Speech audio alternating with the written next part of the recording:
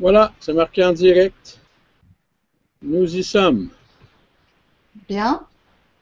On peut commencer? Oui, oui. On a le go? Oui. Bien. Donc, euh, nous voilà réunis pour la semaine numéro 5 autour de la pédagogie et des ressources libres. Et nous avons la chance d'avoir de nombreux intervenants pour euh, notre hangout, c'est-à-dire notre visioconférence en ligne. Avant de commencer dans le vif du sujet, je vous propose qu'on fasse un petit tour de table en ligne et euh, afin que chacun puisse se présenter, euh, qu'on donne euh, ben, bien sûr son nom, le lieu d'exercice et puis euh, la responsabilité que vous avez bien sûr et, et euh, quelles sont les expériences que vous avez déjà dans le domaine des ressources éducatives libres? Donc je, je vais vous donner la, la parole. Alors, je voulais aussi euh, dire que il nous manque euh, Robert Grégoire qui doit nous rejoindre en ligne. Il a eu euh, un petit incident de, de micro, donc il n'y a pas de souci, il va nous rejoindre. Mais pour ne pas faire attendre nos auditeurs, je vous propose qu'on commence les présentations. Qui est-ce qui commence? C'est André? Oui, je veux bien commencer. Alors, mon nom est André Cotte. Euh, vous voyez par ma barbe et tout ça que ça fait un petit bout de temps que je roule ma bosse dans ces choses-là. En fait, à tour de rôle, j'ai été enseignant pendant longtemps. J'ai été aussi, aussi longtemps, sinon plus, dans le domaine du logiciel éducatif à toutes sortes de titres, autant concepteur que euh, vendeur que directeur général. Et depuis une quinzaine d'années, je suis édimestre. Euh, j'ai été édimestre maintenant, j'ai laissé la place à des plus jeunes. Je suis édimestre adjoint euh, d'un site qui s'appelle Carrefour Éducation, qui est un site financé par le ministère de l'Éducation du Québec, destiné aux enseignants du préscolaire, primaire et secondaire. Euh, mon expérience dans le libre a commencé dans les années 2000 avec des logiciels libres sur Windows. Je pense que quand on dit REL dans ressources et logiciels libres, sont aussi un type de ressources qu'on utilise pour travailler.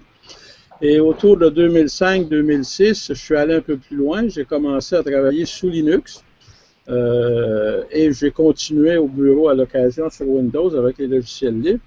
J'ai même euh, eu une petite période dans ma carrière euh, où j'ai quitté Carrefour pour aller m'occuper d'un site dédié aux logiciels libres qui s'appelait Colibri, une espèce de dépôt de logiciels libres pour les enseignants. Et je suis revenu à Carrefour Éducation depuis euh, bientôt quatre ans. Euh, Alors, à Carrefour Éducation, on a toujours euh, eu le souci du droit d'auteur, d'abord pour ce qu'on publiait nous-mêmes. Ensuite, on a fait des dossiers sur le droit d'auteur, le droit des images, pour un peu aider les enseignants à comprendre ce que c'est.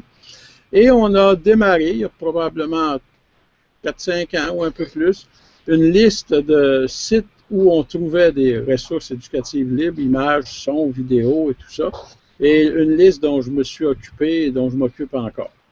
Alors, je pense que ça fait un peu le, portrait de qui je suis. Merci André.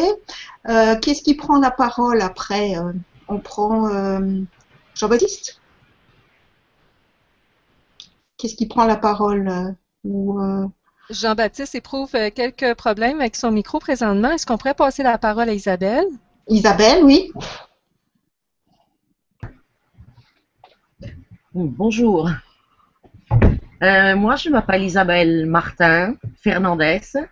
Je suis professeure de, français actuellement au Portugal, dans la région de Lisbonne, plus précisément à Estoril. J'enseigne actuellement dans une école de, supérieure, euh, à savoir, on prépare les, les étudiants au, aux licences maîtrise euh, dans le cadre du tourisme. Donc, je travaille euh, dans le tourisme, l'hôtellerie et la restauration. Et nous formons des, des licenciés et, des maîtres. Et prochainement, peut-être des, doctorants. Et on verra par la suite. Euh, mon intérêt pour. Oui.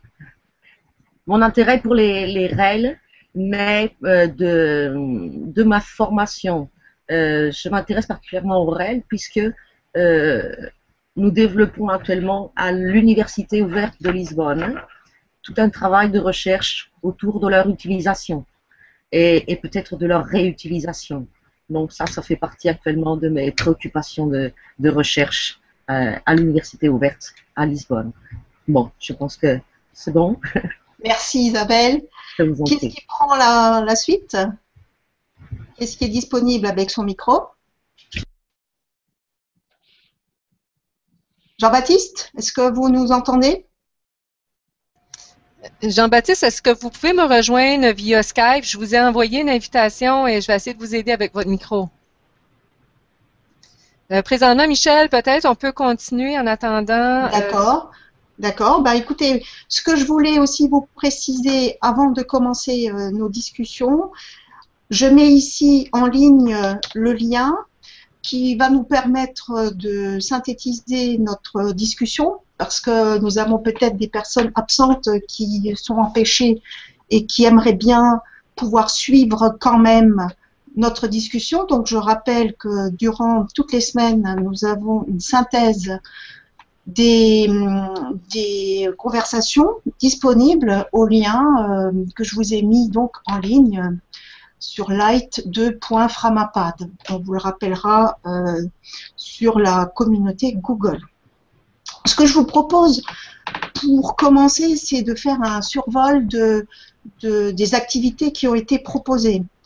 Euh, si vous avez euh, lu les propositions, vous avez vu que la première des activités qui était proposée, c'était le problème de, de, la recherche, comment trouver des ressources libres pour préparer sa classe.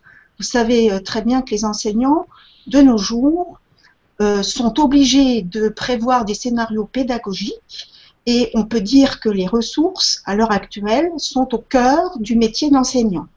Le problème qui est posé, c'est comment faire quand on cherche une ressource particulière, que ça soit une image pour illustrer un cours ou que ça soit, par exemple, une simulation.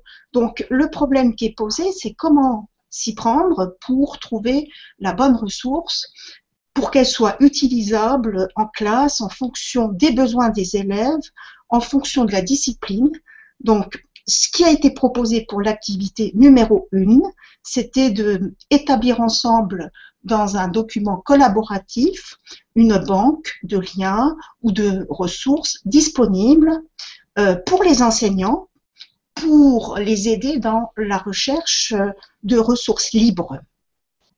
Alors, euh, ce qui serait intéressant, ça serait euh, de voir justement euh, quels sont ces liens. Donc, vous pouvez voir dans le Google Doc l'ensemble des liens qui sont centralisés.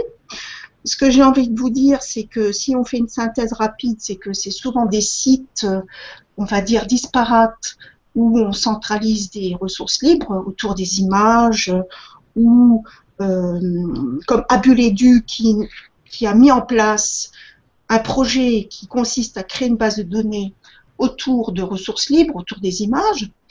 Nous avons euh, beaucoup d'associations qui travaillent autour euh, de ces projets-là. Encore faut-il trouver les liens euh, pour avoir une recherche rapide. Ce que je vous propose, c'est que euh, nos participants, euh, ils ont peut-être aussi des astuces ou des méthodes pour trouver des, ressources. Est-ce que André, euh, vous, pouvez nous, donner euh, votre, votre retour par rapport à cette problématique? Oui, parce que c'est probablement l'endroit où je serai le plus utile au groupe. c'est ce que je fais d'habitude. Bon, disons que pour les enseignants du Québec qui connaissent Carrefour Éducation, cette fameuse liste d'endroits où on peut trouver des choses libres, elle existe. Elle est sur Carrefour. On a au-delà de on doit avoir autour de 150 sites qui sont répertoriés dans différentes catégories, que ce soit le son, que ce soit le, texte, les images, euh, les cartes euh, géographiques ou historiques et tout ça. Donc, c'est une façon de travailler. Mais j'aimerais revenir un petit peu au départ. Quand on parle des enseignants, je, nous, ici, les enseignants sont incités par le programme du ministère à faire beaucoup de projets avec les élèves, mettre les élèves en projet. Donc, ça demande des ressources pour le faire. Et le, premier problème, c'est que les enseignants savent qu'il y a un droit d'auteur, mais ils ne savent pas très bien ce que c'est. Alors, c'est difficile de les, aider à trouver des choses libres quand ils ne savent même pas ce qui n'est pas libre, ce n'ont pas le droit de prendre. Donc, je pense que euh, dans un contexte où on doit inciter à aider les enseignants à utiliser des ressources libres, je pense qu'on ne peut pas faire l'économie d'une petite, euh, euh, petite introduction à ce qu'est le droit d'auteur, ce qui est permis généralement, ce qui ne l'est pas. nous, on le fait dans des présentations à l'occasion, on va dans des colloques ou dans des écoles, mais on le fait à travers quelques dossiers qui sont sur Carrefour Éducation. Euh, une fois qu'ils ont compris qu'il y a un droit d'auteur, la réaction suivante, c'est la peur. Moi, on me dit souvent dans les ateliers, mais qu'est-ce que je vais faire? On ne peut plus travailler, comme bon, etc. Là, ils sont paniqués. Et c'est là qu'on peut introduire euh, les méthodes, comment on retrouve des, sites où il y a des ressources libres. Euh, évidemment, pour ceux qui ont un peu plus de temps à y mettre, on leur explique où aller, comment trouver sur un site le, petit bout de phrase, la licence, l'icône qui va leur dire que c'est libre. Et euh, on explique un peu ce que sont les licences Creative Commons. Et finalement, on les amène sur la liste de Carrefour Éducation en leur disant qu'il en existe d'autres, mais que celle-là, elle est connue. Je ne sais pas si c'est facile de partager l'écran. Euh, si je ne réussis pas, je reviendrai. Je vais essayer de vous montrer ce qu'on a sur Carrefour là-dessus. Vous pouvez faire le partage d'écran à partir euh, du euh, d'un petit icône à, votre gauche. Oui, c'est ce que je viens d'essayer. Je pense que c'est fait, là, non? Oui, ça va. Ça marche? Alors, je vais retourner dans l'écran pour le commenter.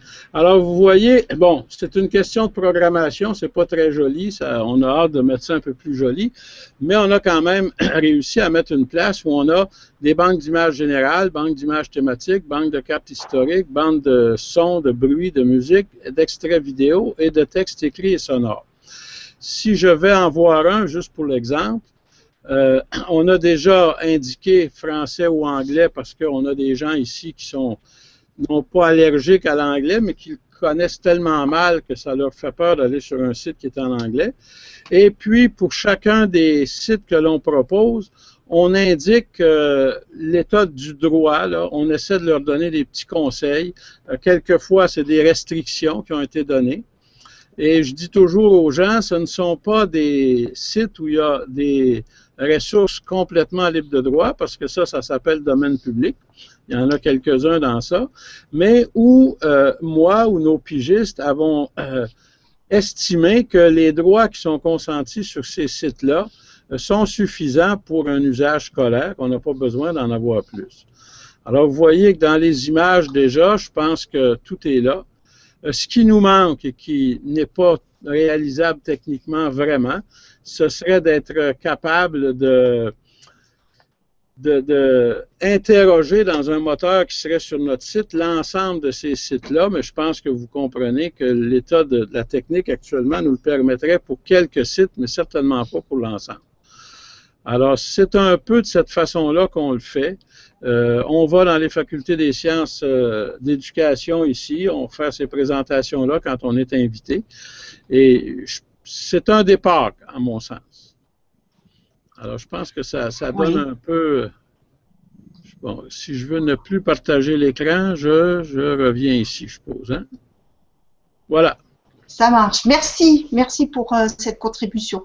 Je, crois que cette idée de moteur, elle me paraît euh, très très intéressante parce que l'enseignant, euh, il doit être gagnant au point du temps, l'économie du temps.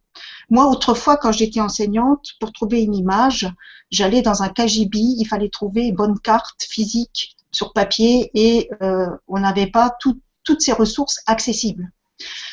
Euh, donc l'intérêt, euh, c'est de pouvoir utiliser tous les outils de recherche, les moteurs, pour faciliter bien sûr la recherche de ressources libres.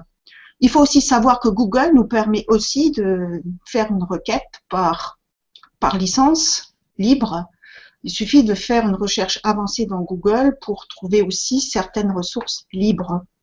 Donc, dans notre document collaboratif, on a déjà un petit répertoire de documents, de liens, de sites qui nous permettent de retrouver euh, des ressources libres. Mais euh, je vais aussi demander euh, à je vais aussi demander à Isabelle euh, si au niveau de Lisbonne euh, ou du Portugal, vous avez aussi une politique euh, précise pour trouver des ressources libres. Euh, je pense que je vais faire rapide. Non. Oui. Il n'y en a pas? Non. Donc, chacun se débrouille avec ses propres moyens pour rechercher sur Internet des ressources libres. Voilà. Ce que les gens font peut-être plus facilement, c'est qu'ils se regroupent au sein de, de, de disons, de, de- d'ensemble de, de centres d'intérêt, autour de leur centre d'intérêt. Par exemple, on retrouve un- des groupes actifs autour des universités, quand on a des, des étudiants euh, qui se réunissent dans des, des, des centres de recherche. hein, on arrive tout de même à créer des liens Oui. et à commencer à fonctionner ensemble. Euh, J'écoutais ce, ce que disait André et je trouvais ça extrêmement intéressant. Et, moi, par exemple, je me posais la question euh, sur euh, euh, le moment où il disait que les, collègues, les enseignants ont des difficultés sur les droits d'auteur. Euh, moi, je me situerais peut-être même un, peu avant. Je crois que les, les collègues ont dû, et moi-même, nous avons des difficultés à nous situer sur qu'est-ce qu'un REL et qu'est-ce que c'est, qu'est-ce qu'on va en faire avant même de pouvoir en, en, en rechercher. Euh, je crois qu'il y a toute une démarche au niveau culturel, parce que ça implique hein, toute une démarche culturelle qui n'est pas si évidente que ça. Hein, on part du principe que tout le monde voudrait utiliser des REL, et je ne suis pas si sûre que ça, que ça fonctionne si bien. Oui, je suis tout à fait d'accord avec vous. Est-ce que je peux Et- me permettre de, Oui, de commenter? Euh, en fait, les gens ne, ne cherchent pas à fréquenter des REL tant qu'ils ont l'impression qu'ils peuvent tout prendre sur Internet en toute impunité.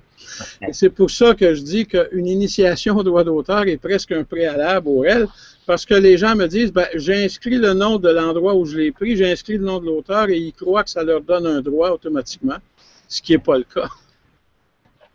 Alors je suis tout à fait d'accord avec vous parce que euh, l'enseignant lambda, euh, à partir du moment où c'est disponible en ligne, euh, on, on est plutôt enclin à utiliser la ressource. On se dit, ben, euh, c'est partageable, on, on, on l'utilise. Et je crois qu'il y a vraiment une culture à mettre en place. Et euh, au niveau de notre académie, euh, en 2009-2010, euh, pour la formation des directeurs d'école, nous avons engagé euh, justement une formation autour des ressources libres et les droits d'auteur. Pour déjà connaître les six licences Creative Commons, comment ça fonctionne, euh, l'usager, comment peut-il lui contribuer d'une façon libre en fonction de ses, euh, euh, désirs. Hein, il peut verrouiller sa ressource, mais il peut aussi la rendre partageable. Et, je crois que hum, là, il y a toute une euh, culture à mettre en place, et je suis tout à fait d'accord avec vous pour que, au niveau des institutions, on ait cette réflexion et euh, ce, besoin d'avertir. C'est vraiment euh, euh, informer euh, les usagers du web. Et pour bien sûr l'éducation, ça me paraît fondamental d'être au point sur ce que c'est qu'une ressource libre, pourquoi partager avec une ressource libre. Donc, ce que je vous propose, c'est que hum, mettra en ligne des documents. Dans notre académie, nous avions donc organisé une formation de directeur d'école justement pour savoir comment utiliser les Creative Commons. Le document est disponible en, ligne.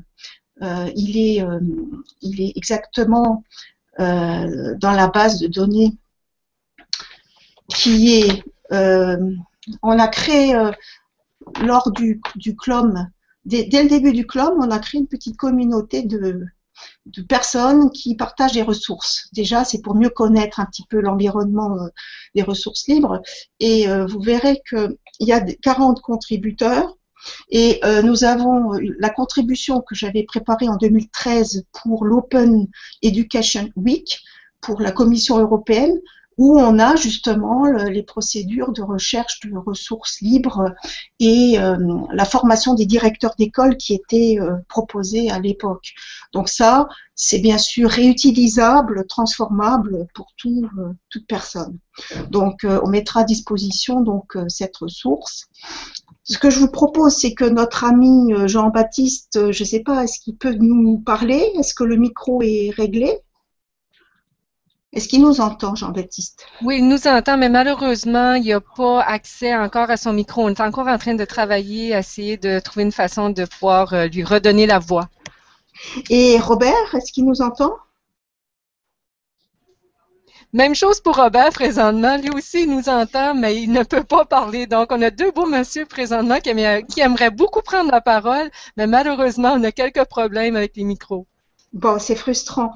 Alors, pour faire la synthèse de ce point, la partie 1 concernant donc la recherche de ressources libres, je crois que s'il fallait retenir quelque chose d'essentiel, c'est former bien sûr les, enseignants et puis tous les acteurs de l'éducation, et puis même, je dirais, euh, tous les utilisateurs de web, il faut qu'ils soient au clair euh, sur euh, les droits d'auteur en ligne.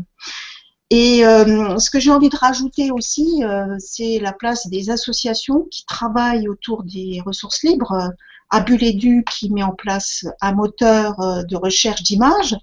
Bien sûr, tout le travail du Canada que André nous a montré.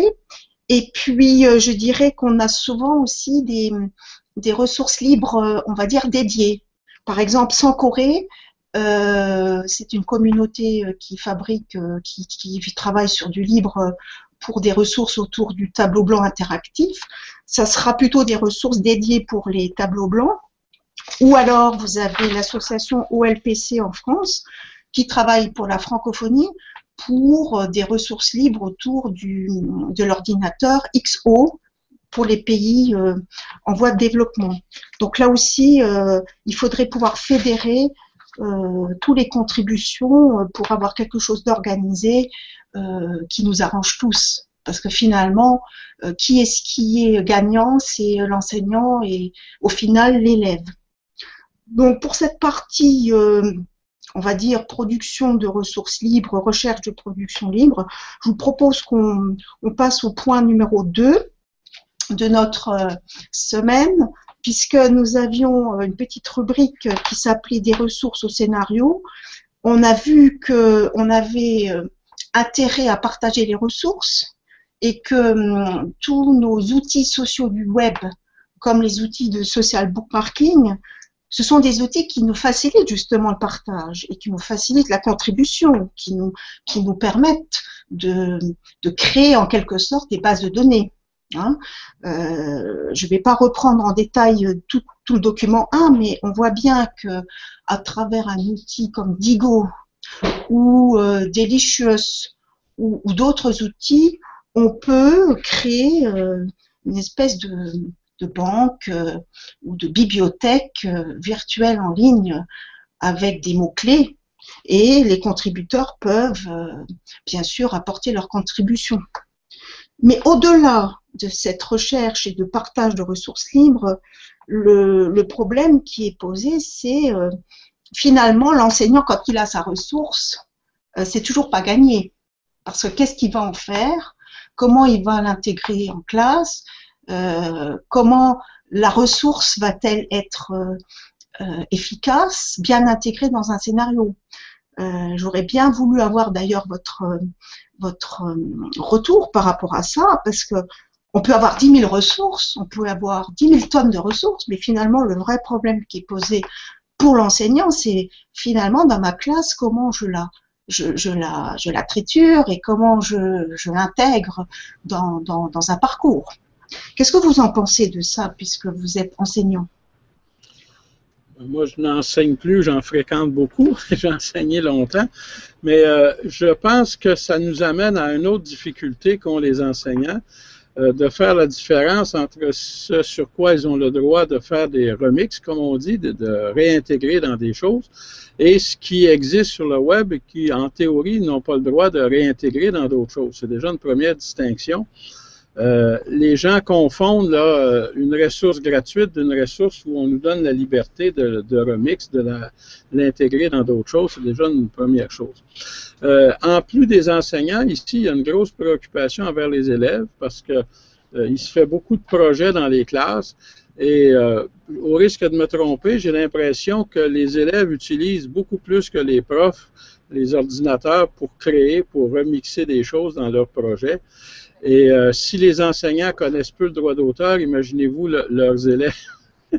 Alors, il y a là aussi une autre éducation à faire euh, un peu sur euh, qu'est-ce qu'on a le droit de faire, jusqu'où on peut aller. bon, je pense que chez vous, là, avec tous les organismes qui essaient de, de, bloquer certaines choses dans le, partage de, ressources libres, euh, ça doit être encore plus actuel, cette, discussion-là. Oui. Bon, par définition, on peut dire qu'un système éducatif, si on vise le partage des pratiques des enseignants et le partage des ressources, par définition, euh, euh, il, faut, pouvoir libérer les ressources. Ça, on est bien d'accord. Mais au-delà de la libération des ressources, je pense que le problème crucial des enseignants, c'est euh, la pédagogie, euh, euh, comment j'utilise une ressource dans ma pratique pédagogique. Même si je suis sûre que je ne suis pas hors la loi, même si j'ai ma ressource, le problème qui est posé, c'est finalement, mais est-ce que cette ressource va m'apporter dans, dans un parcours d'élève? Est-ce que cette ressource est bien appropriée pour faire passer un message, pour médiatiser mon enseignement? Est-ce que cette ressource numérique, elle, va, payer pour les élèves? Ça, c'est vraiment une question. Peut-être euh, qu'Isabelle a envie de réagir, puisque vous êtes euh, enseignante.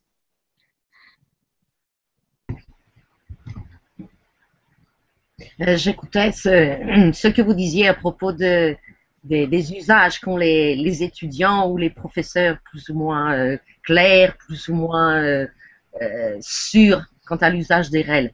Moi, je, me posais la question, par exemple, sur l'éducation de, tous les membres intervenants dans le processus pédagogique.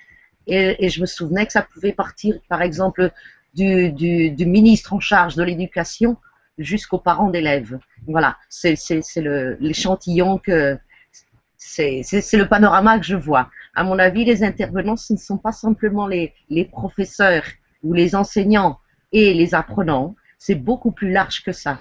Et ce travail qui se fait sur, euh, a priori, on serait d'accord, hein, tout le monde utiliserait, utiliserait des règles, bien que André dise que ce n'est pas vrai, et je suis d'accord avec lui. Il semblerait qu'il y a le, travail d'éducation beaucoup plus large que ça. Hein. Le, la communication doit se faire sur un, échantillon beaucoup plus large, à mon avis. Euh, même si l'enseignant décide, par exemple, d'intégrer des règles dans son parcours pédagogique, et Dieu sait s'il y travaille, euh, la, démarche n'est pas toujours claire, n'est pas toujours euh, comprise. Et en général, donc si on revient à cette idée de culture d'utilisation, on, humainement, on assiste à un refus, une incompréhension. Et je crois que c'est là qu'il faut travailler. C'est pas simplement un problème technique ou un problème de droit d'auteur. Je crois que c'est beaucoup plus large que ça. Je pense qu'il y a aussi toute cette idée de culture de, du partage. C'est-à-dire, euh, il faut qu'on soit préposé déjà à partager. C'est pas évident non plus. L'enseignant, euh, quand il a, euh, on va dire, conçu une ressource, encore faut-il qu'il trouve un lieu où il peut partager, donc il faut créer, euh, je pense, des espaces euh, de partage et, de production. Pour que l'enseignant euh, sache déjà qu'il y a une infrastructure logistique et, et qu'il se sente rassuré. Je pense que la culture du partage, c'est aussi quelque chose qui se travaille et il faut des relations de confiance entre les acteurs et une compréhension, comme vous disiez je suis tout à fait d'accord, toutes les organisations doivent être partie prenante du dispositif. Bah, tous les intervenants dans le processus, hein, je pense que euh, se limiter à ce, qui, à ce qui est fait de la part des apprenants ou de la part des enseignants et peut-être des, équipes techniques qui, qu'il ne faut pas oublier, qui travaillent autour, c'est restreindre le, problème à, un niveau qui, n'est pas vrai, qui n'est pas vérifié. Donc c'est pour ça que, que j'interviens. Alors, oui. Euh, quelquefois, j'ai l'impression qu'il y a trop de choix dans les règles et c'est pour ça que les enseignants sont embêtés. Euh, ils ne savent pas où aller. Euh, souvent, ils aiment bien avoir deux, trois endroits où, un peu comme quand tu as tes manuels ou tes choses, tu sais que tu as telle, telle ressource et puis tu piges dans celle-là. Euh, Brigitte Bénard, qui n'a pas pu joindre à nous là, parce qu'elle n'a pas pu se libérer aujourd'hui, me disait que dans sa commission scolaire, je pense que vous savez un peu ce que c'est, c'est pas une académie, c'est un peu plus petit, mais ça regroupe des écoles d'une région. Euh, ça fait déjà de nombreuses années qu'ils utilisent presque exclusivement des logiciels libres. Et évidemment, ils poussent vers des ressources libres. Et l'année passée, le ministère a mis un budget à la disposition des écoles pour les achats de ressources numériques. Ben, elle a dit que l'enthousiasme pour chercher des ressources libres est tombé euh, pas à zéro, mais a, diminué beaucoup parce que les enseignants, sachant qu'il y avait de l'argent, ils cherchaient une offre euh, pour acheter des ressources de la façon dont ils sont habitués. Ça m'est donné par une maison d'édition. Ça couvre mon programme. Je suis certain que c'est bon. On va l'acheter puis je vais me servir de ça. Donc, il y a, aussi cette dimension-là où les enseignants, euh, je les blâme pas parce que je dis toujours que quand tu enseignes, tu es supposé avoir une vie ensuite, tu as le droit d'aller jouer au golf, tu as le droit de faire des choses. Euh, les enseignants sont, euh, sont souvent débordés ou sont pas habitués à, de fabriquer tout leur matériel. Et quand on utilise des ressources libres, à moins de des cours universitaires, quelquefois, on en trouve des tout faits, excusez le terme anglais, packagés. Oui. Euh, ordinairement, en tout cas ici au primaire, secondaire, on trouve presque rien de déjà emballé, de déjà prêt. Donc, l'enseignant va trouver des ressources, des images, des vidéos, mais c'est lui qui doit faire l'assemblage et le montage. Et ça, souvent, ça le, ça le fatigue, ou je veux dire, il n'a pas le temps. Souvent, je pense qu'il ne faut pas leur lancer la pierre. Souvent, je pense qu'il manque le temps de faire ça. Et c'est un autre obstacle à l'utilisation des ressources libres. Je suis tout à fait d'accord avec vous. Cette notion de temps, parce que, euh, bon, bien sûr, concevoir euh, sa classe, ça prend du temps, c'est le travail euh, basique de l'enseignant, mais une ressource médiatisée qui intègre du son, de l'image, ça suppose un travail, technique. Donc, il faut former les enseignants à la production de ressources numériques. Et j'ai envie de vous faire part d'une expérience que j'ai menée dans un petit département rural en France, dans l'Indre, entre 2009 et 2012, euh, vous savez que les enseignants, ils ont droit à de la formation. Et euh, c'est-à-dire du temps pour euh, apprendre et se former. Donc moi, j'avais ciblé justement la production de ressources, de coproduction de ressources en ligne avec un temps dédié pour justement euh, pour que les enseignants aient un temps pour euh, bah, déjà se faire la main, euh, comprendre qu'on peut coopérer en ligne, qu'on peut partager et qu'on peut travailler en ligne. Et, et, je crois que avec du temps, il y a à un moment donné cette notion de plaisir de pouvoir construire ensemble et de créer, puisque un enseignant par définition c'est quand même un créateur, c'est quand même quelqu'un qui est concepteur, scénariste. Donc, si on lui donne euh, les environnements, de la matière minimale, pour que euh, du temps aussi, pour qu'il goûte à ça, euh, je crois que finalement, c'est un plus qu'on va apporter aux enseignants. Du temps, et puis cette idée de, plaisir du partage. Je pense que l'enseignant, faut qu'il sente que il n'est pas tout seul dans son coin, le département de l'Inde, c'était un petit département euh, isolé, un peu comme au Canada. Hein. Et euh, je crois que euh, c'était une des plus belles récompenses, c'était de relier les gens par la distance. Et en ligne, on peut très bien faire de très belles choses et construire des choses pédagogiques. Alors, ça ne veut pas dire qu'on ne se voit plus physiquement, mais je pense qu'on a intérêt à, à faire vivre toutes ces expériences de production et de partage en ligne. Voilà, je voulais euh, faire part de cette expérience parce que je l'ai vécue euh, comme, comme inspectrice, mais surtout comme accompagnatrice, pas comme quelqu'un qui supervise. On était là pour chercher ensemble. Et, je fais le pari que tout le travail euh, collaboratif en ligne a quand même beaucoup euh, d'années, euh, comment dire, devant lui et, et beaucoup de, de, comment vous dire, beaucoup d'intérêt pédagogique. Hein. L'interactivité en ligne me paraît importante et il faut le développer. Et ça passe aussi par les ressources, le partage des ressources. Ce qui me paraît aussi important, c'est aussi leur donner une espèce de méthodologie, parce que la ressource, comment on l'intègre dans un parcours pédagogique? Le, cœur du problème, ça reste quand même la pédagogie. Hein. Je disais tout à l'heure, on peut avoir 10 000 ressources, mais si la ressource n'est pas utilisée à bon escient ou si euh, le scénario euh, bah, reste, euh, comment vous dire, plat ou les, effets sur la pédagogie ne sont pas visibles. Donc, je pense que derrière tout ça, il nous faut euh, mettre en place une pédagogie autour des ressources libres. Et c'est pour ça que dans la semaine numéro 5, on avait l'activité autour du document 2, concevoir et mettre en œuvre un parcours hybride avec des ressources libres et penser l'articulation entre la distance et le présentiel et puis finalement bah, comment j'intègre ces ressources libres dans ma classe? Et il y a eu une contribution cette semaine. Je ne sais pas si vous avez vu les, les personnes qui ont contribué. On a Monsieur Frédéric Duriez, qui a écrit un article sur son blog. Je vais essayer de retrouver ce lien. Alors, euh, parce que je l'ai mis de côté. Alors, je vais retrouver le lien de ce monsieur. Euh, il, a fait quelque chose d'artistique, c'est-à-dire que les documents que j'avais proposés durant la semaine, il en a fait un petit chef-d'œuvre.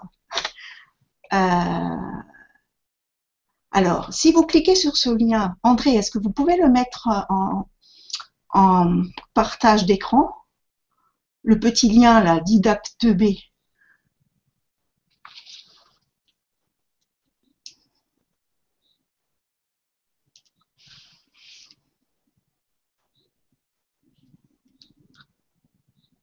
Je vous entends pas Vous m'entendez? André, il faudrait activer votre microphone. Oui, c'est parce que pour être poli, je l'arrête, mais là, il faut que je le mette. J'ai une page, je vais la montrer, vous allez me dire si c'est bien celle-là. J'ai pris le lien, je vais vous montrer ce que ça donne. Oui. Alors, euh, ce ne sera pas très long. Euh, ce que j'ai, moi, c'est ça. Oui. Est-ce que vous pouvez descendre l'ascenseur? Oui. la deuxième image, la deuxième image en bas, là, voilà. On peut, on peut cliquer sur l'image et l'agrandir normalement. Oui, voilà, c'est fait. Voilà. Alors, ça, c'était les documents de Marcel Lebrun. Il était euh, filmé dans une vidéo. Marcel Lebrun, il est professeur d'université à Louvain et il était euh, interviewé avec euh, Christophe Battier. Et il y a eu une discussion de 7 minutes. Et donc, les contributeurs de la, scène, de la semaine numéro 5 ont écrit des articles sur le blog.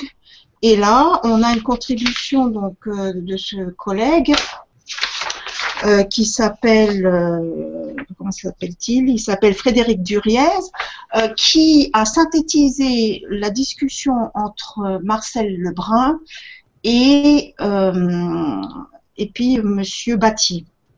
Alors, ça paraît un petit peu une bande dessinée, mais on voit à gauche, là, euh, un monsieur, euh, on va dire que c'est Marcel Lebrun, le professeur d'université à Louvain, et il disait, euh, mais moi je suis professeur d'université, quand je fais cours, je demande à mes élèves avant de se préparer au cours, donc il les met en situation de, lecture pour que après, quand il est en cours avec eux, ils puissent interagir sur des questions qui ont du sens et des questions euh, qui, euh, euh, qui sont dans l'interactivité. C'est-à-dire que Marcel Lebrun, quand il parle de parcours hybride à distance et en présentiel, il nous dit, c'est marqué dans le petit tableau là, qu'il faut bien distinguer le temps d'enseignement qui doit se faire à distance, c'est-à-dire pour lire un livre, on n'a pas besoin d'un enseignant à côté de nous, hein, on lit,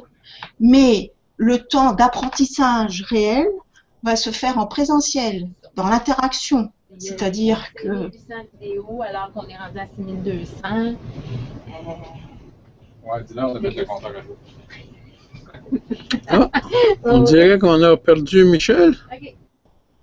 Vous m'avez perdu? Ah, là, ça va, c'est revenu.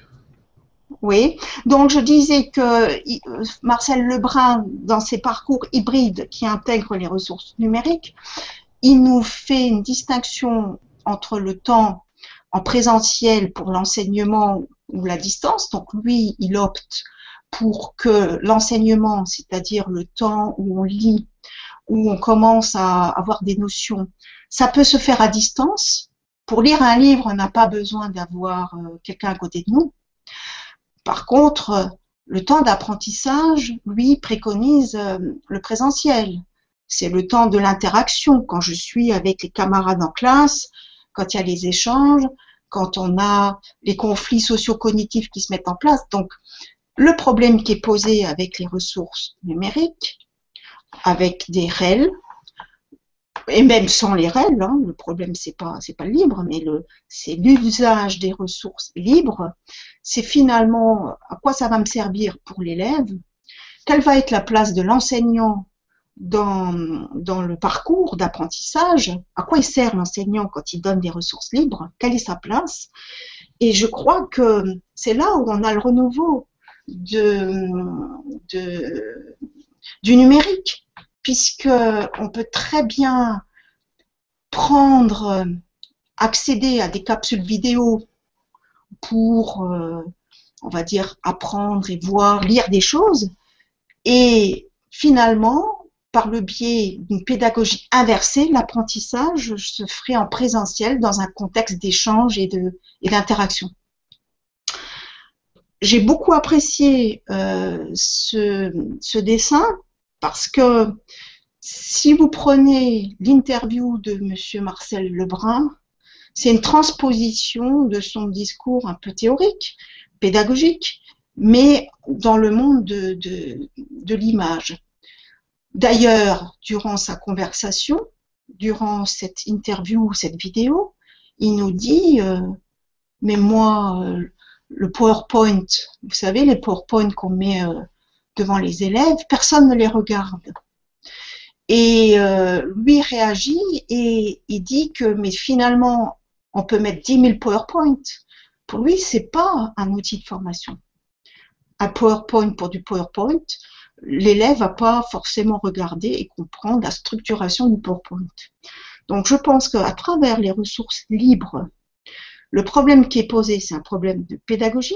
C'est comment j'intègre cette ressource, est-ce qu'elle va, à quoi elle va servir pour l'élève, quelle va être la place de l'enseignant? Et comment euh, l'élève va, euh, on va dire, euh, digérer ce qui lui est proposé? Moi, je ne vois pas une si grande différence que ça entre des ressources libres ou des ressources non libres au plan pédagogique.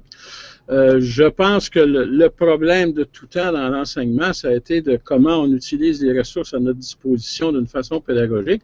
Tout à fait. Il peut, y avoir certaines ressources libres de par leur nature qui sont plus nouvelles. Je pense à la vidéo.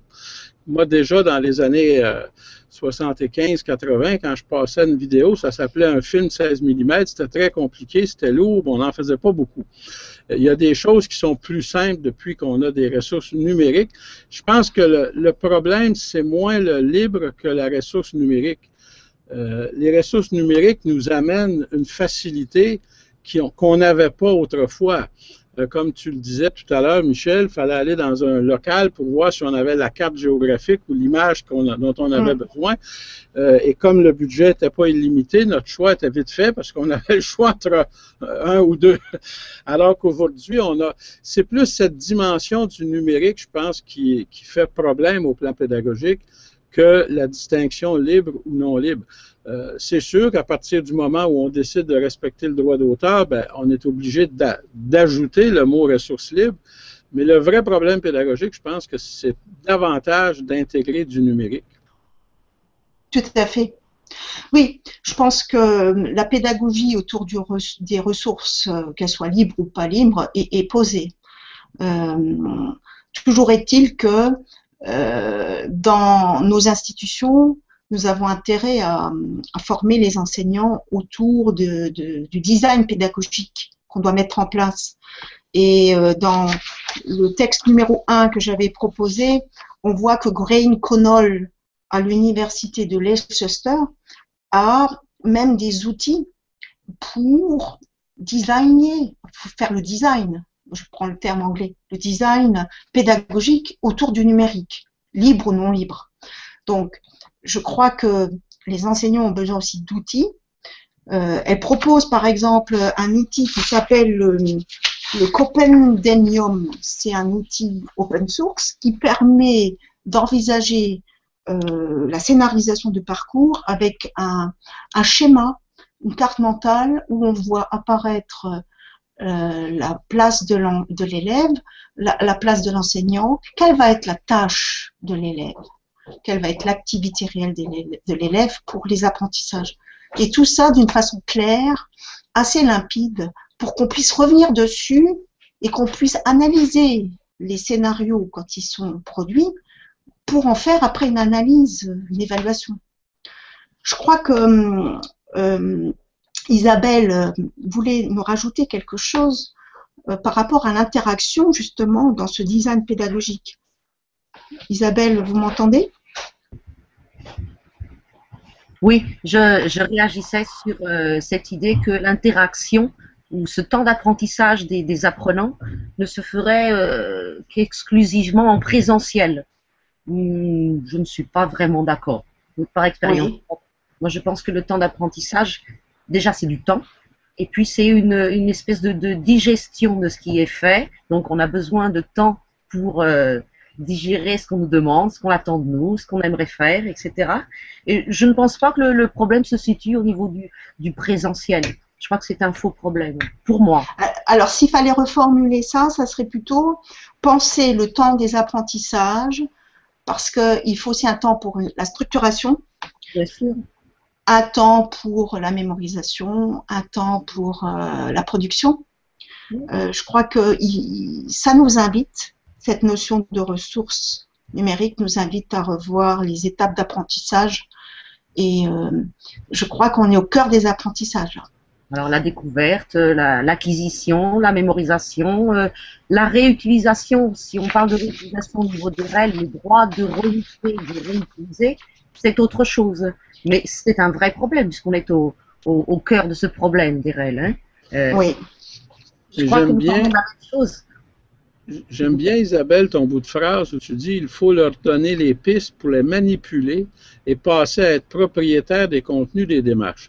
Et ça, ça ne se fait pas avec des, avec des ressources propriétaires, ou en tout cas très peu, parce que souvent, on n'a pas le droit de les modifier, de les manipuler, de les remixer.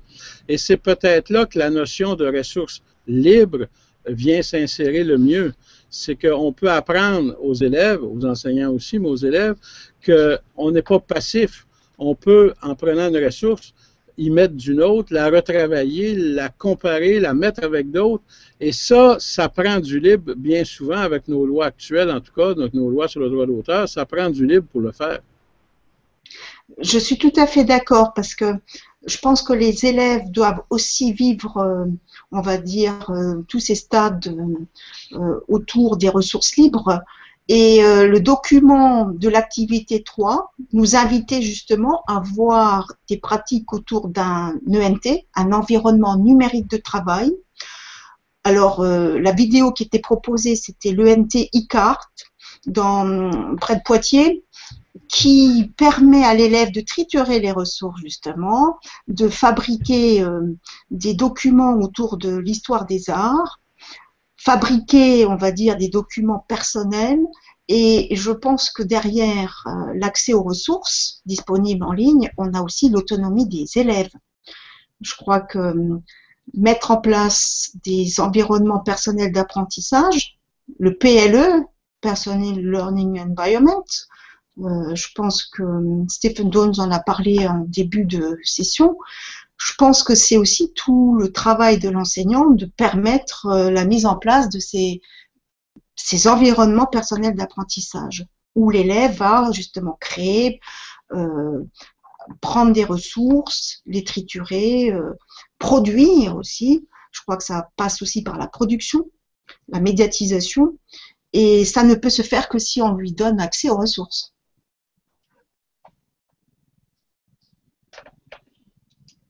Alors, André nous dit, Isabelle, la notion d'avoir le droit. André, vous voulez peut-être réagir? Tu veux réagir, André? Oui, ben, c'est un petit peu ce que, ce que je disais. Euh, on a cette, euh, on a cette notion-là, même à d'autres niveaux. Quelqu'un me disait ce matin euh, comment ça se fait que nos politiques, nos hommes politiques ne comprennent pas l'avantage d'aller au libre. on parlait de logiciel à ce moment-là, c'est parce qu'ils ne comprennent pas que ça leur donne le droit de le modifier, de le faire modifier, de l'adapter sans payer, sans avoir de coûts supplémentaires. Dans une école, on n'a pas la question des coûts, mais c'est la même chose. Euh, quand on peut modifier une vidéo, quand on peut euh, mettre des images ensemble, quand on peut modifier l'image, quand on peut triturer un texte, ben, je pense que c'est beaucoup plus riche pédagogiquement parlant que d'être pris avec des ressources euh, ou en théorie, en tout cas, on n'a pas le droit de les modifier à cause de la loi sur le droit d'auteur. Donc, je pense que quand on parle de l'avantage d'utiliser du libre, il est beaucoup plus là que dans la gratuité. Je suis tout à fait d'accord. Dans le processus, on est dans le processus et je dirais dans, dans la modification euh, d'un document et l'économie. On est dans l'économie aussi euh, pour l'enseignant, c'est beaucoup plus simple de modifier que de tout refaire à zéro. Alors justement, par rapport à cette problématique euh, autour des ressources éducatives libres, dans vos pays où vous en êtes, alors au Québec ou on va dire ou dans le Portugal, est-ce que vous avez une politique affirmée? Vous en êtes où Comment, comment euh, sont utilisées les règles chez vous? C'est quelque chose de classique, euh, introduit euh? au Portugal, non, ça n'est pas une chose très, très classique, hein, bien au contraire. Je crois qu'on est dans, dans une phase encore de, de découverte. Je parlais tout à l'heure de, de, de, de culture. Euh, André parlait également de, ne pas faire la confusion entre ce qui est libre, ce qui est gratuit, etc. Et je crois que c'est justement un, des points euh, importants. Euh, curieusement, si, c'est libre, dans le sens où ce serait gratuit, ce qui n'est pas le sens qu'il avançait, peut-être que ça ne vaut rien finalement. On a par exemple des, démarches, des réactions de, collègues par rapport à ce qui est la ressource libre où on explique qu'il faudrait par exemple également produire, hein, ce, que Michel disait, il est important de produire également et de partager. Et il est vrai qu'il y a une, résistance énorme à ce niveau-là. Hein. L'idée du, partage est, extrêmement euh, difficile à faire passer. Euh, sur les, banques de REL, euh, non, ce qui se met en place, ce, ne sont pas des règles. On met ensemble des documents, on met ensemble des, articles, des recherches, des, produits pédagogiques purs, disons. Non, je, ne connais pas. Je ne connais pas moi-même, mais peut-être que ça existe. Hein. je n'ai pas la prétention de, tout savoir. Hein. Mais ça se met en cours, ça se met en cours, ça se met en place, et je sais que c'est une, préoccupation qui existe actuellement. Hein. C'est en construction, disons. Merci. Et pour André, donc, euh, si j'ai bien compris, tu as déjà montré au début, euh, il y a quand même des, des sites euh, institutionnels qui se mettent en place. Oui, on a quelque chose qui, vaut de l'or ici, qui s'appelle le récit. C'est un acronyme tellement long que j'arrive jamais à me souvenir exactement ce que c'est. Mais grosso modo, dans chaque commission scolaire, normalement, on a une personne dont le mandat est d'aider les autres enseignants de sa commission scolaire à mieux intégrer l'éthique dans leur enseignement, l'éthique en général. Et euh, dans ces récits-là, on a aussi des récits nationaux en sciences, en français, dans, les, matières de base. Euh, mais ces, ces récits-là euh, vont souvent mettre en ligne ce qu'on appelle des SAE, des situations d'apprentissage et d'évaluation, qui ont été testées ou faites dans certaines classes dans leur commission scolaire, et on les met en ligne en partage pour les gens on commence à mettre des licences dessus. Comme on connaissait moins le droit d'auteur, la question des licences, on les mettait sur un site en se disant prenez-les.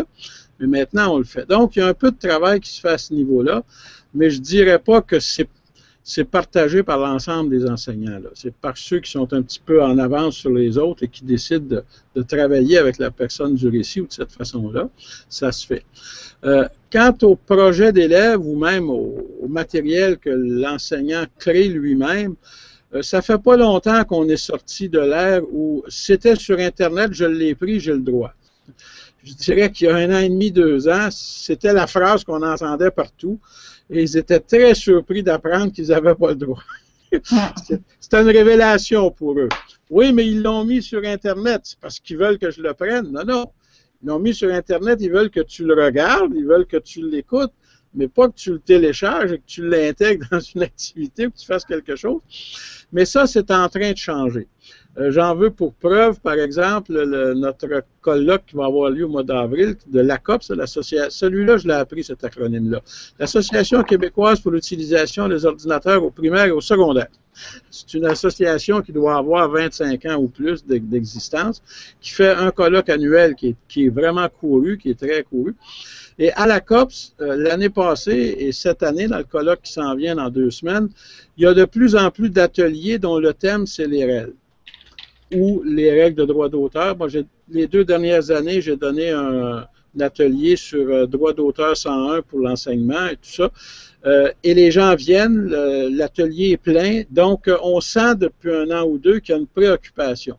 Ce qui ne veut pas dire que c'est rendu chez l'ensemble des enseignants et que c'est répandu dans toutes les classes, mais il y, a une, préoccupation, en tout cas parmi ceux qui sont un peu à l'avant-garde, il y a une préoccupation réelle maintenant là-dessus. Bien. Et euh, est-ce que au niveau de Moncton, à l'université, vous avez une politique affirmée pour les ressources libres? Ouh, dommage que Robert n'est pas là pour répondre à cette question. Oui. Euh, c'est lui l'expert en fait de, de, politique et tout ça. Ah oui. Je suis certaine que euh, avec le libre et tout ça, les Creative Commons, qu'on a, euh, on a atteint les mêmes, les mêmes, répondre à les mêmes lois et euh, que des, des, politiques, c'est des politiques nationales, internationales sur les, droits d'auteur et tout ça. Mais je voudrais, tandis que j'ai le micro, il ne faudrait pas négliger, puis je regarde l'heure, on est à l'heure. Effectivement, il y a des personnes qui partagent des commentaires, des questions. Euh, il y a animatrice EPN qui nous dit qu'il ne faudrait pas que les académies proposent les réels libres adaptés pour les enseignants réalisés par des techniciens pédagogues. Ne faudrait-il pas? Et elle dit que, ou euh, cette personne dit, les exemples de scénarios pédagogiques doivent être libres aussi. Ah, tout à fait. Il faudrait, des forums de partage entre les enseignants francophones et cette même personne euh, soulève la question de le problème de la qualité des réels par rapport aux ressources non libres aussi. Alors, cette personne apporte beaucoup, alimente beaucoup en, fait de, questions. Alors, est-ce que vous, on pourrait adresser euh, dans les quelques minutes qui nous restent peut-être ces, ces, commentaires, ces questions-là? Alors, je, je pense que par rapport à la qualité des ressources libres, euh, qu'est-ce qu'une bonne ressource? C'est la question qui est posée. Je, crois que la ressource, elle n'aura de valeur que par le biais de son usage. Une ressource, elle peut être euh, utilisée d'une façon A, B, C, D, E, F.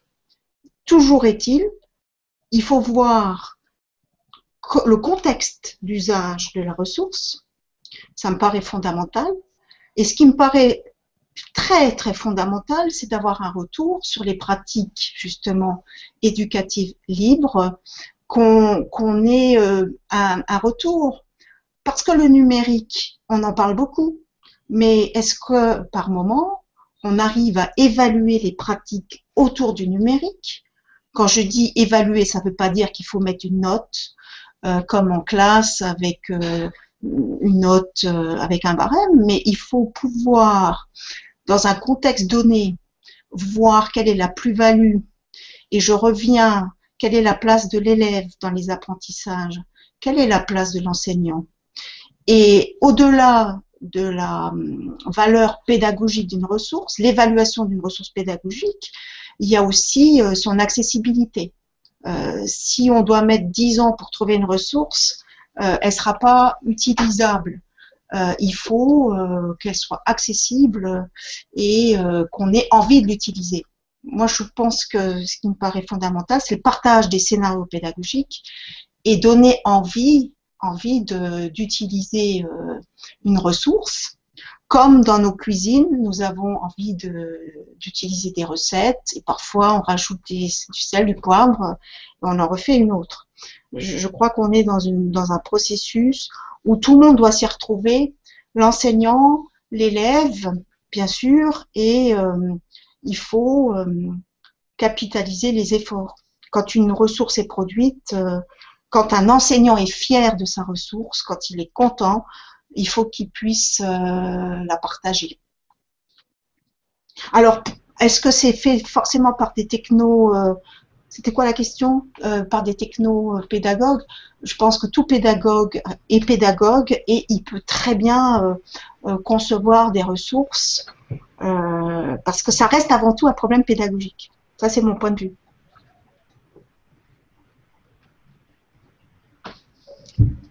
C'est bien. Autre, autre commentaire des, euh, des autres spécialistes, des personnes en, en ligne? Un dernier mot rapidement. Euh, moi aussi, on se fait dire quelquefois, ben, c'est gratuit, les ressources libres, c'est pas de bonne qualité. Je leur dis toujours que le meilleur côtoie le pire dans les ressources libres. Euh, je donne l'exemple de Jamendo. Je leur dis, quand tu es musicien, tu es certain que ta musique, c'est la meilleure du monde. hein. Et Jamendo te permet de la télécharger, de l'offrir aux gens. Donc, ça se peut que toi, tu trouves que ce musicien-là euh, se surévalue et que sa musique n'est pas très bonne. Mais je leur dis, si vous cherchez un peu, vous allez trouver des, des perles dans, dans- dans presque tous les sites de ressources libres.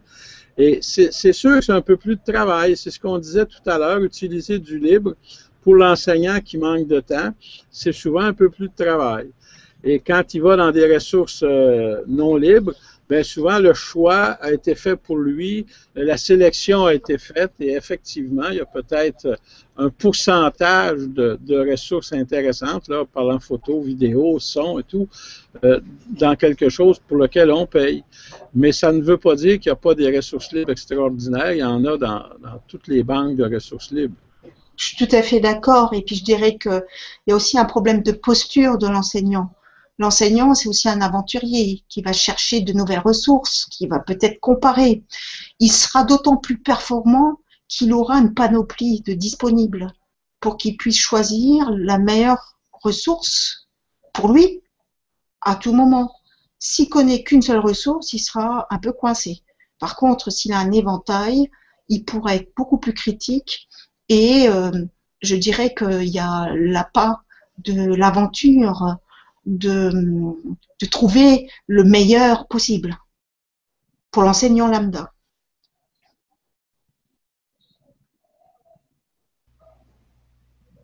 Il y a encore un message.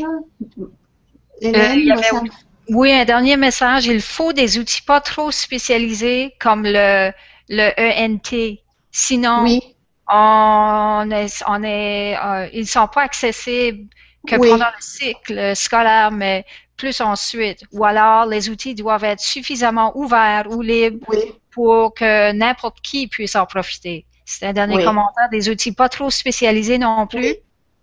Et puis il faut que ça soit simple.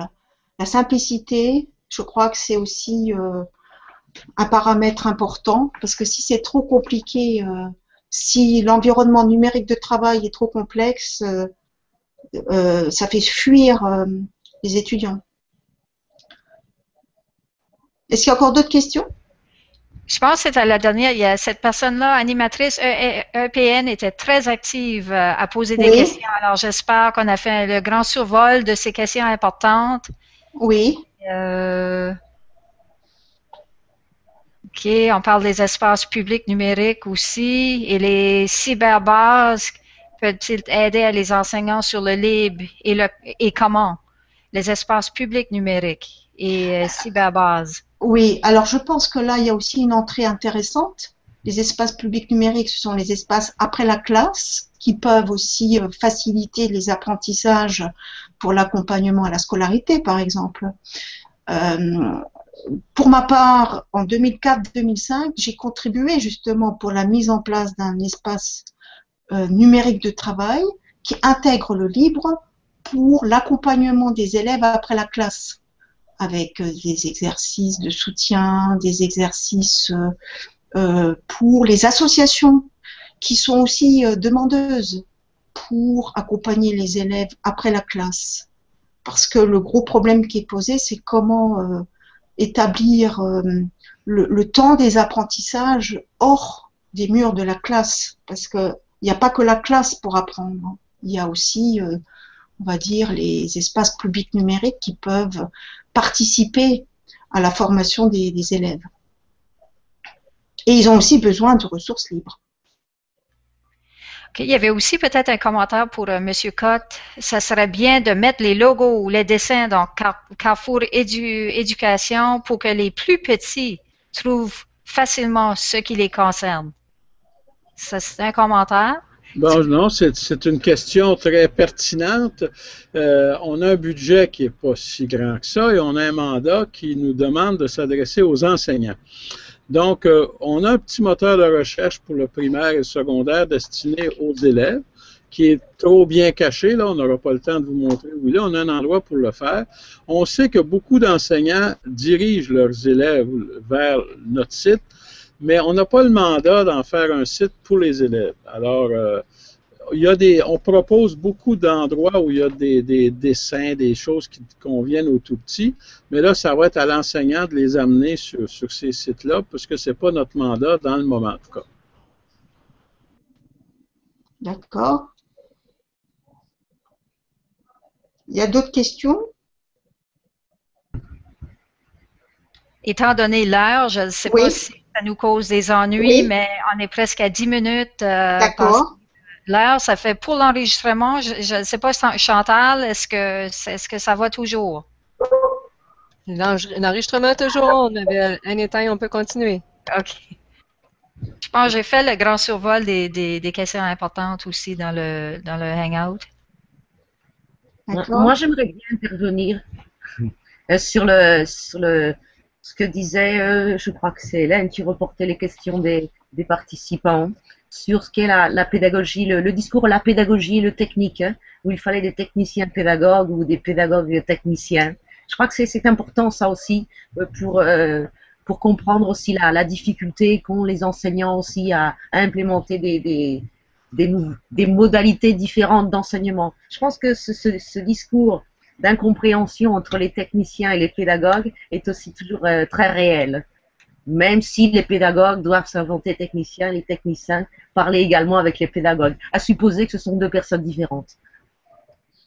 Le meilleur des mondes, parce qu'on peut toujours faire de la, de la fiction, mais qui peut, qui peut devenir réalité? Je pense que tout enseignant en 2014, à un moment donné, peut devenir enseignant euh, technopédagogue, c'est-à-dire euh, doit intégrer le numérique. Ça devient, euh, comment vous dire, autrefois on avait du papier, on avait des diapositives, bah, maintenant on a du numérique et il faut s'emparer du numérique pour en faire le, meilleur pour, pour les espaces d'apprentissage des élèves. je crois que c'est vraiment la base de la pédagogie du numérique, c'est de former les enseignants et tous les acteurs euh, par rapport à cette problématique.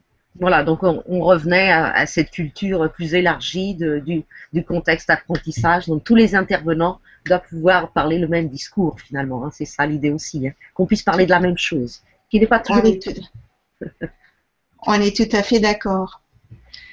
Il y a Patricia Chauvard qui fait un commentaire intéressant aussi pour y a-t-il un moyen d'influencer Google pour mettre un bouton facile à repérer les, euh, licences libres des images, voir le site Wikimedia Commons qu'elle nous propose?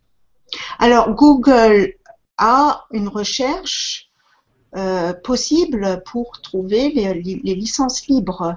On, a à l'heure actuelle des moteurs de recherche capables de sortir des ressources euh, selon euh, le degré de liberté de la ressource.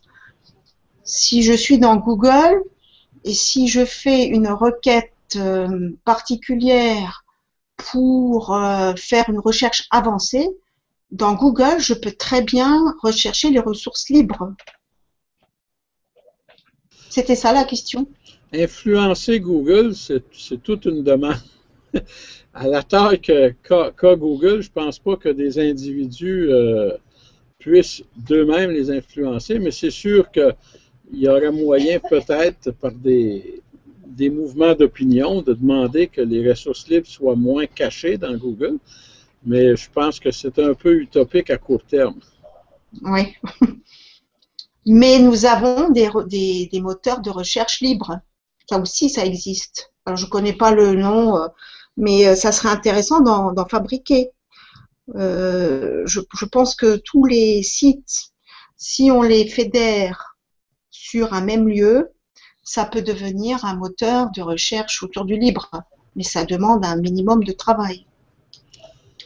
Remarquez que nous, à Carrefour, on travaille avec des fichiers XML, c'est un peu technique, là, et quand euh, le partenaire est d'accord, c'est relativement facile pour nous d'intégrer des ressources extérieures à Carrefour dans notre moteur de recherche. on l'a fait, par exemple, pour Alloprof. on a presque toutes les fiches d'Alloprof, on peut les, interroger, c'est-à-dire les, chercher à partir de notre moteur. Mais ça aussi, c'est un gros travail parce que il y a certains sites, je pense à Flickr, euh, je n'obtiendrai pas l'autorisation de Flickr probablement de les interroger à distance. Hein. Donc, il faut rester un peu réaliste, mais effectivement, il faut tendre vers ça, je pense. Il y a une question dans le Framapal de l'éditeur collaboratif qu'on a en, ligne. Il y a une personne qui a rajouté pourquoi n'intégrons pas dans l'évaluation de l'enseignant dans leur euh, déroulement de leur carrière, disons, la participation au partage de ressources sous licence libre. Il pourrait y avoir là un bonus, euh, incitation liée à la rémunération. Est-ce que c'est un bon Excellente idée, excellente idée, mais moi je vais dans les facultés de sciences de l'éducation et je me rends compte que l'éducation au droit d'auteur et au libre, par, le fait même, euh, n'est pas très avancé. Euh, les étudiants ont l'air de découvrir tout ça quand je vais faire une présentation de Carrefour. Donc, euh, mais ce serait effectivement intéressant que dans les facultés de sciences de l'éducation, on ait cette préoccupation-là d'initier à la fois au libre et au droit d'auteur. Je partage le, même avis, même pour la formation continue. Donc, les directeurs d'école dans le département de l'Indre, j'ai proposé une formation sur, sur, sur cette problématique. D'ailleurs, euh, ils sont complètement euh, désemparés face euh, au droit. Droit et Internet, c'est quand même complexe. Et comme disait André, par définition, ils se disent, bah oui, sur Internet, c'est partageable, je prends, et puis voilà. Et on ne se rend pas compte qu'on est hors la loi.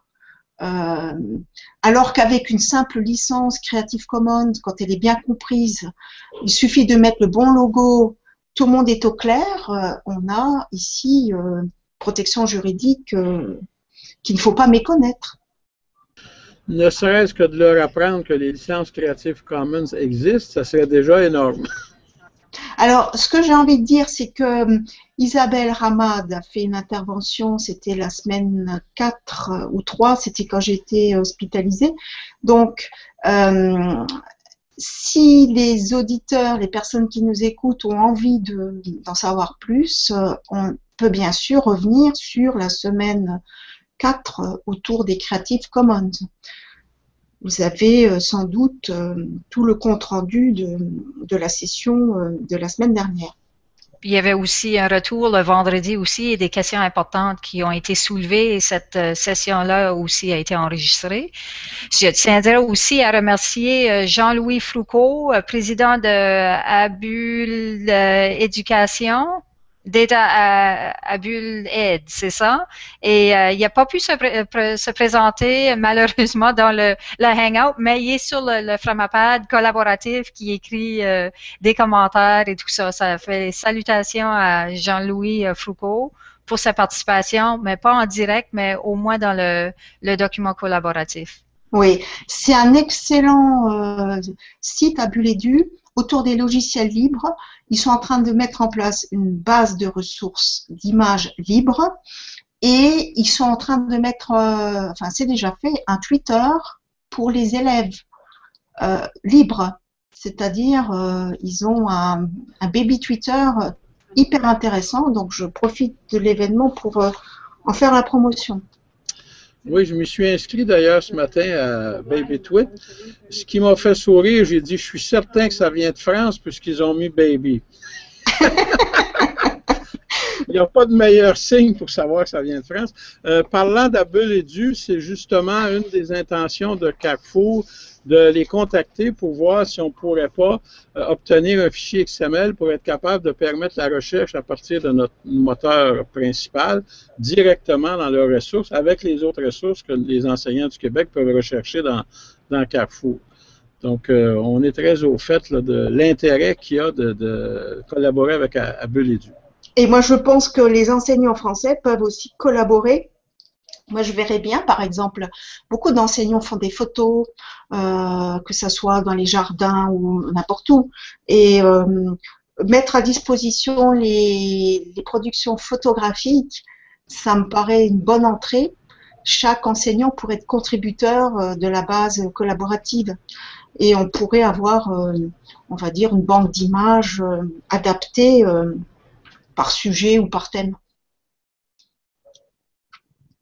Tout à fait. Il existe des endroits, remarquez bien, où ils peuvent les partager, mais c'est un peu dispersé dans le moment, effectivement. Mm. Et Jean-Baptiste, parce que je le vois silencieux, il peut toujours pas parler. Malheureusement, non. Jean-Baptiste n'a toujours pas de son. Euh, mais par contre, Jean-Baptiste, si tu as quelques questions, quelques points, tu aimerais apporter à l'attention des gens, tu peux toujours nous l'envoyer via le chat et on pourra euh, le souligner aux gens.